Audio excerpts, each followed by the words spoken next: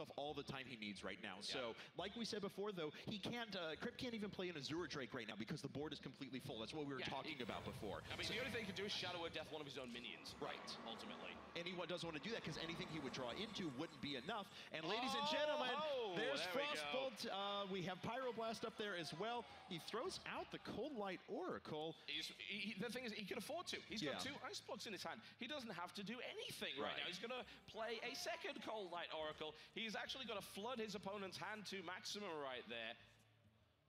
Right, and uh, could throw out that ice block. Hopefully he does here in just a second. Well, if he doesn't throw out the ice block, he immediately dies. So I Right, so hope I'm- he does that. He's got a. He's he doesn't really have much else for one. The ice lance isn't probably going to be used here. He'll probably pass on that, uh, but he is going to be completely safe next turn. Yeah, I, I would imagine that Crip is going to know exactly what that secret is in this situation and is going to trade minions to get better minions out.